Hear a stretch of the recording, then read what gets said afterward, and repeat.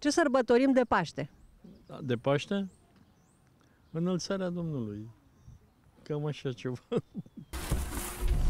Nașterea Domnului Iisus Hristos. Păi, mm, nașterea lui Hristos. Ce sărbătorim de Paște? Ceva cu nașterea Iisus. Iisus sau învie, învierea, da, scuzați. Mai multe. Forgive them, for they know not what they do. Ce sărbătorim de Paște, bunica? Ce sărbătorim? De Paște. Învierea Domnului nostru Iisus Hristos.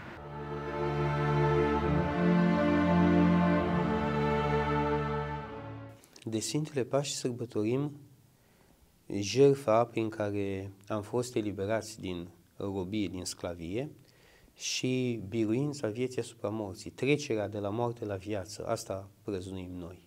Cea mai mare sărbătoare din an, care este învierea Domnului nostru Dumnezeu, Isus Hristos, care este la rândul lui Fiul Tatălui. Iar Tatăl, Creatorul nostru, ă, din iubire prea mare pentru creația Lui, a trimis pe pământ, spre patimă, pe unicul său fiu, din iubire pentru noi. Paștele se sărbătorește încă din preajma anului 1400 înainte de Hristos. În cartea Exodului din Vechiul Testament găsim mențiuni referitoare la Sfintele Paști care constau în principal din îndrumările date de Dumnezeu pentru celebrarea acestei sărbători oamenilor din timpul lui Moise. Sărbătorea tot o trecere. Am spus că Paștile sunt trecerea din moarte la viață, de la robie la libertate. Același lucru era sărbătorit și de evreii Vechiului Testament, pentru că evreii Vechiului Testament au fost aleși de Dumnezeu să fie un model pentru creștinii care urmau să vină. Evreii au fost scoși din Egipt prin puterea lui Dumnezeu, unde erau robi și aduși în libertate. Hristos ne-a trecut pe toți din robie în libertate. O eliberare care în Vechiul Testament era și fizică, dar era și spirituală, pentru că erau și din punct de vedere cultural, să zic așa, persecutați, devine acum o eliberare care este totală. Este și fizică, este și spirituală, dar este și duhovnicească, adică pătrunde până la, în toate cotloanele și eliberează, ne eliberează cu totul, total. Ne scoate de sub stăpânirea răului și ne așează în împărăția binelui. Ei au fost scoși din Egipt și au scăpat de sub o formă a răutății. Însă noi acum scăpăm prin Hristos de toate formele răutății. Aici este deosebirea între Vechiul Testament și Noul Testament, pentru că acum suntem liberi față de moarte și față de răutate, în vreme ce acolo a fost o eliberare față de o anumită răutate particulară. Judecat, bătut, umilit, răstignit, mort, dar înviat. Sacrificiul său suprem a fost dovada iubirii pentru om. Oricât de credincios s-ar pretinde, omul pierde deseori semnalul comunicării cu Divinul Creator. Toți îl răstim pe Hristos prin toate relele pe care le facem. Atunci când uh, ne mândrim, atunci când ne lenevim, atunci când suntem lași, de câte ori ne supunem răutății, îl răstignim din nou pe Hristos, pentru că Hristos s-a răstignit pentru păcatele noastre, pentru patimile noastre, pentru lepădarea noastră de Dumnezeu, pentru înstrăinarea noastră de Dumnezeu. Și atunci toate răutățile pe care le facem sunt răstignirea lui Hristos. Cu ce ne putem încărca noi spiritul? Numai cu rugă. Acela rămâne singurul fir al nostru cu divinitate. Fiecare dintre credincioși, fie el de orice credință ar fi, pentru că Dumnezeu este unul singur și toate drumurile duc către Roma, către un singur Dumnezeu, că fiecare îl numește în limba lui, e cu totul, alt, e cu totul altceva. Dar Dumnezeu este unul singur. Fiecare dintre noi care îl iubim cu adevărat și ne păstrăm acest fir de legătură cu Dumnezeu, este excelent. Atunci nu mai ești ca un om care nu crede în Dumnezeu, o frunză care o bate vântul și se duce și cade prin locuri murdare prin... și sigur că se pătează. Și totuși omul se poate îndumnezei, poate să devină atât de trăitor în har, încât în viața lui să săvârșească numai binele, să nu mai existe rău în viața lui. Eu am întâlnit asemenea oameni, uh, în primul rând, unii dintre cei trecuți prin uh, pușcările comuniste ca mărturisitori ai lui Hristos, cum uh, a fost, de exemplu, Părintele Gheorghe Calciu Dumitreasa, Părintele Justin Pârvu, Părintele Sofian Boghiu și așa mai departe, dar am întâlnit mireni, care, oameni obișnuiți de la mine din parohie, din fosta parohie, care au ajuns la o stare inimaginabilă de, de iubire, de dragoste față de Dumnezeu și cu cât îl iubești mai mult pe Dumnezeu, cu atât îl iubești mai mult pe ceilalți oameni și iubești tot ceea ce există. Ca urmare, ei nu puteau să facă rău. Ei nu puteau să facă decât binele. I-am văzut, m-am minunat și mi-am plâns mai mult propria stare. Pentru că e foarte dureros când te vezi pe tine ca preot încercând să fii bun, pentru că și eu încerc să fac binele, uh, și ar trebui să fii sus și vezi pe acești oameni care sunt foarte sus, nu poți decât să te cutremuri și să te îngrozești de propria ta stare. Dar, da, într-adevăr, am întâlnit oameni care au ajuns la această stare în care nu-L mai răstignesc pe Hristos, dar de obicei ei sunt răstigniți împreună cu Hristos. Deci, se ajunge la altă înălțime. Ei stau practic de-a dreapta lui Hristos pe crucile lor, ca să spun așa. Da, pentru că răutatea lumii îi lovește foarte tare, dar îi lovește într-un stil, dacă pot să spun așa, cristic. Pe noi răutatea lumii ne face să răspundem de obicei cu răutate. Aici este cheia cuvântului când ți se dă o palmă peste obraz, întoarce și pe celălalt, care nu înseamnă cum din păcate răstălmăcește multă lume că trebuie să faci fața stânga-dreapta uh, față de palmele cuiva. Nu este vorba despre asta. Mântuitorul ne-a arătat că nu este vorba despre asta atunci când a fost pălmuit în noaptea aceea judecății, chiar în Vinerea Mare, și nu a stat să întoarcă capul dintr-o parte într-alta, ci întorcându-se către cel care l-a lovit, a spus, dacă am greșit, arată greșeala, iar dacă n-am greșit, de ce mă lovești? Acest cuvânt e un cuvânt de îndreptare. Deci asta înseamnă să întorci obrazul celălalt, adică să te întorci către cel care ți-a făcut rău, încercând să-l ajuți. Să întorci fața sufletului tău către el și să încerci să-i fii de folos, să-l ajuți. Focul Sfânt În același timp, în același loc, în fiecare an, de secole. Odată în an, în sâmbăta mare a Paștelui, după anumite rugăciuni rostite de Patriarhul Ierusalimului, neabătut, un foc albăstrui aprinde lumânările erarhului și uneori și pe ale celor prezenți, în mod spontan. Nu se știe niciun alt miracol divin care să apară atât de constant de sute de ani se întâmplă la Biserica Sfântului Mormânt din Ierusalim, acolo unde Hristos a fost îngropat și de unde s-a ridicat la cer, spre a da creștinătății dovada existenței Tatălui Ceresc și a grijii sale constante pentru fiii săi. Minunea apariției luminii sfinte la Biserica Sfântului Mormânt se întâmplă de veacuri numai la Paștele Ortodox, lucru care a suscitat interesul și altor culte. În 1579, patriarhul ortodox Sofronie al IV-lea a fost abuziv scos din Biserica Sfântului Mormânt de către autoritățile turce. Trist, dar cu sufletul plin de speranță, acesta a continuat să se roage lângă o coloană care străjuia intrarea în biserică – după ce s-a întunecat, Sfânta Lumină a țâșnit din coloana de piatră și a aprins lumânările patriarhului și ale celorlalți creștini care îl însoțeau. Coloana despicată, rămasă mărturie peste veacuri, este cea mai puternică dovadă a mărturisirii lui Dumnezeu către credincioși. Este o mângâiere care se dă credincioșilor, mai ales într-un loc în care lupta împotriva credinței este extraordinar de puternică. Ă, nu este, să știți, singura minune care se săvârșește acolo.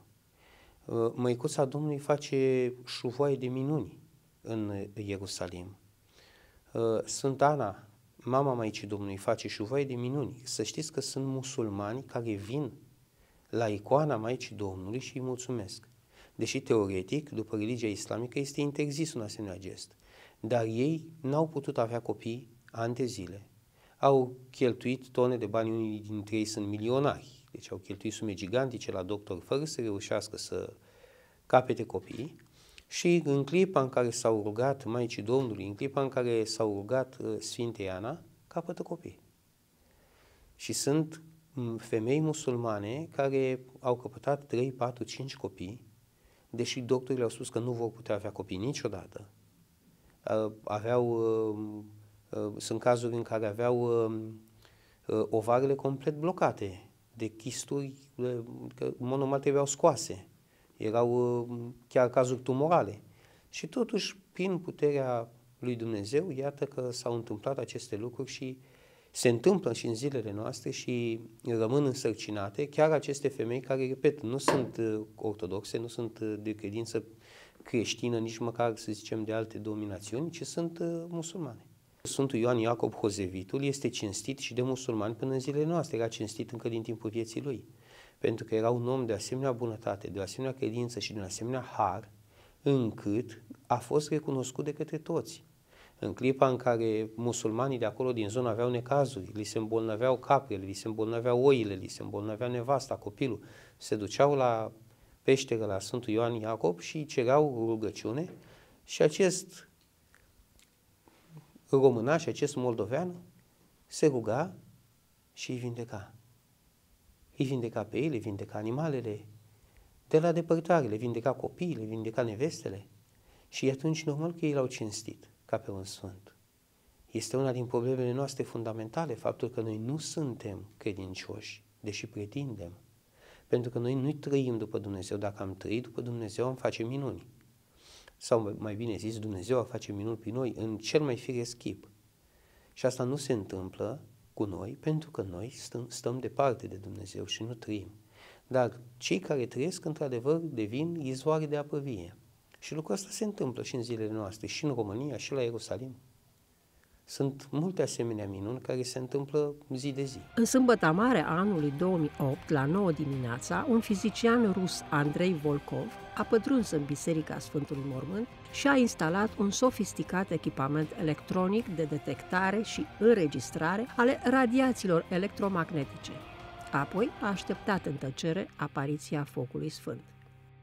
Aparatele noastre, care emiteau un spectru de radiație electromagnetică, au detectat un impuls straniu de frecvență joasă care inunda Biserica Sfântului Mormânt. Acesta a fost înregistrat la ora 14 și 4 minute, ora Ierusalimului. După circa două minute, patriarhul a ieșit cu Sfânta Lumină, afirmă Andrei Volkov.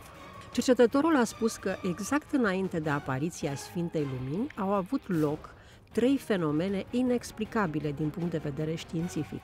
Prezența nejustificată a fenomenului plasmei, care este o minune în sine, cel de-al doilea, sarcina electrică de asemenea nejustificată și inexplicabilă a aerului, iar cel de-al treilea a fost prezența descărcării electrice în momentul apariției Sfintei Lumini. Fizicianul a caracterizat aceste trei fenomene înregistrate ca fiind incredibile și pe de-a dreptul inexplicabile. Cercetarea lui Andrei Volkov este de mare interes, reprezintă o abordare pur științifică. În opinia sa, descoperirile măsurătorilor sale sunt o confirmare a naturii minunate a fenomenului.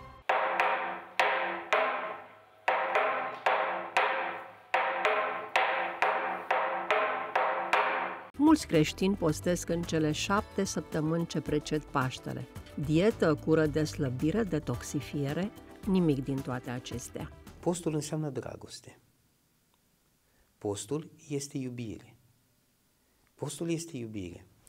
Foarte pe scurt, că totuși, da, suntem la trecerea în lumina învierii, dar este necesar să facem această paranteză pentru a intra în bucuria învierii.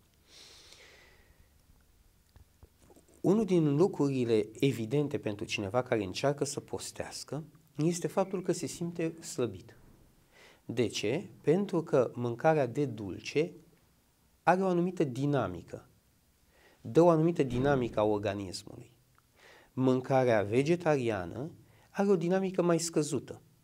Nu este o problemă de sănătate. Nu este mâncarea vegetar- vegetariană mai nesănătoasă decât uh, mâncarea, să zicem, omnivor.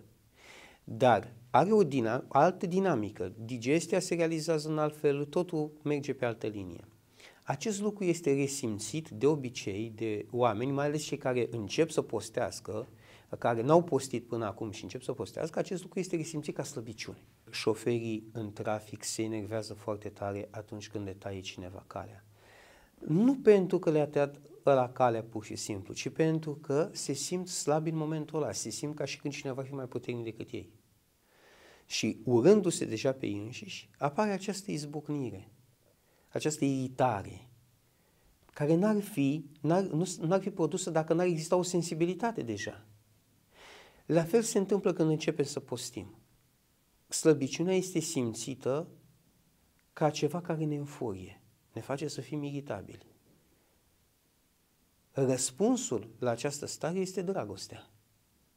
Și aici este lucrarea bisericii, tot postul mare.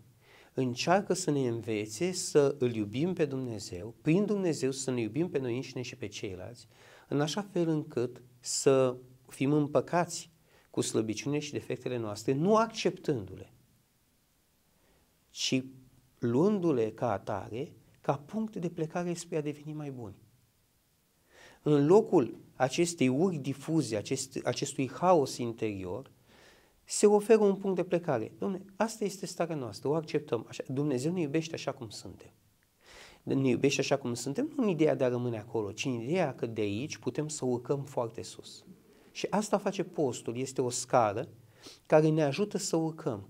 Ori fiecare lucru pe care îl câștigăm în post ne împacă și cu noi înșine, și cu Dumnezeu și cu lumea. Și atunci crește iubirea. Asta este rostul postului și asta este postul. Postul este iubire, este dragoste. Odată ce ai ajuns să înțelegi și să trăiești postul în acest fel, învierea Domnului îți apare în cu totul altă lumină decât de obicei. Și aici este punctul mare de deosebire. Marea bucurie a creștinilor la Paști este învierea. Nu este friptura, nu sunt sarmalele, nu sunt cozonacul sau ouăle roșii. Toate aceste lucruri sunt frumoase, sunt primite, sunt binecuvântate, se binecuvintează în biserică noaptea de înviere. Dar acestea sunt un prea plin al bucuriei și al iubirii. Pentru că adevărata bucurie a creștinului de înviere este învierea. Învierea este deschiderea raiului, este așezarea în veșnicia bucuriei, în mântuire, în frumusețe, în curăție, în libertate, în odihnă, în pace, în armonie, în toate darurile minunate pe care Dumnezeu le dă celor care cred în El.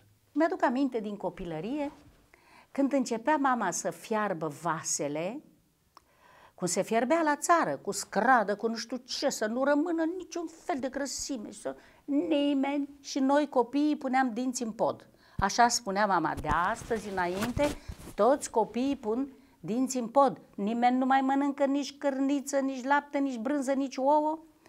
Și mă gândeam că o să iau patru la școală, pentru că eu eram mâncăcioasă, dar numai de ce îmi plăcea mie.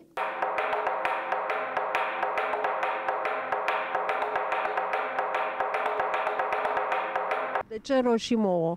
Nu știu, da. Nu știu dacă apuc Paște. Așa e tradiția, nu? Eu, e, cum să spune, e... Pentru că se spune că Maica Domnului a adus-o la picioarele lui Isus și s-au vopsit de sânge, s-au făcut roșii. Oul este o sămânță a vieții. Spargerea oului simbolizează ieșirea în libertate a vieții care stătea închisă. Deci, însă spargerea oului este un simbol al învierii, al trecerii noastre de la moarte la viață, de la ce ar fi putut să fie, la ceea ce este. Orice om este o sămânță.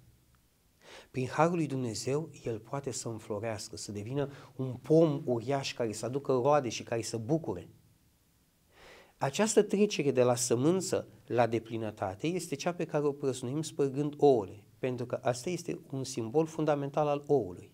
Vineri seară vine uh, părintele Nicodim cu prea curata Fecioară Maria și cu Maria Magdalena care Maria Magdalena a gândit și ea ca ea așa, a zis, domnule, dacă tot mă duc acolo la ostașul roman, să putem să-l cerem pe bunul Iisus să ne-l dea acasă, să nu ne prindă noaptea, ea a zis că și așa un coș cu ouă, poate îl convinge mai repede pe ostașul roman să îl dea pe bunul Iisus. Și ajunge la, unde, la bunul Iisus unde era crucificat și a zis, hai să mergem la ostaș. În momentul respectiv pune coșul la picioarele bunului Iisus, la cruce. Se duc, hotărăște situația cu ostașul roman, Ostașul îi întreabă unde va fi mormântat, ehm, părintele Nicodim a zis avem loc pentru că îi dau pe al meu. Concluzia, ei se întorc să-l pogoare de pe cruce pe bunul Isus. În momentul când s-au aprobat, s-au apropiat de, de crucificarea bunului Isus, au văzut coșul cu ouă, o splendoare. Roșii, frumoase, splendide erau.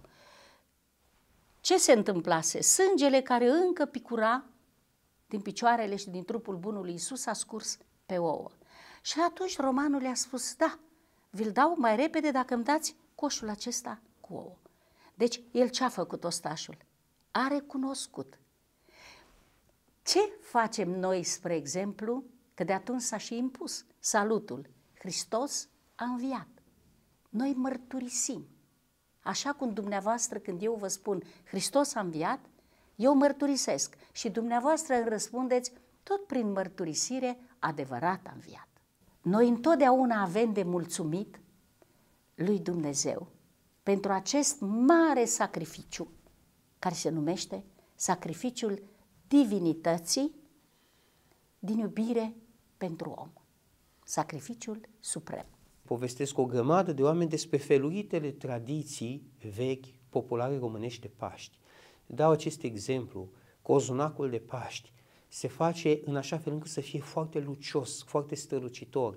Se dădea înainte cu miere, cu un fel de de fapt era cu apă de trandafir, cu miere, cu nu știu ce, fiecare gospodin avea stilul, dar ideea e că trebuia să fie cât mai lucios, cât mai strălucitor.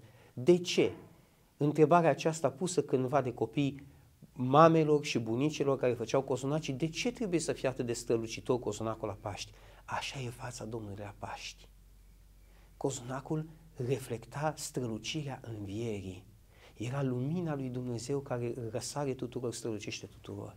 Deci, până și cozonacul, care era, cum, cum zice cireașa de pe tort în, în cazul de față, era desertul, Până și cozunacul trebuia să mărturisească această bucurie, această lumină a învierii și o făcea.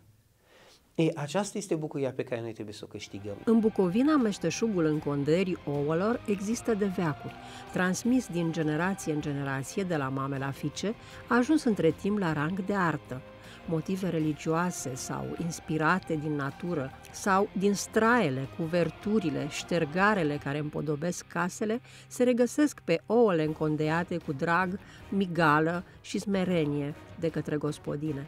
Acestea se pun alături de alte bucate tradiționale, precum drobul, pasca, cozonacul pufos și bucata de caș proaspăt în coșul ce se duce la biserică în noaptea învierii. Încondeierea ouălor presupune foarte bună cunoașterea tradiției, dar și simț artistic.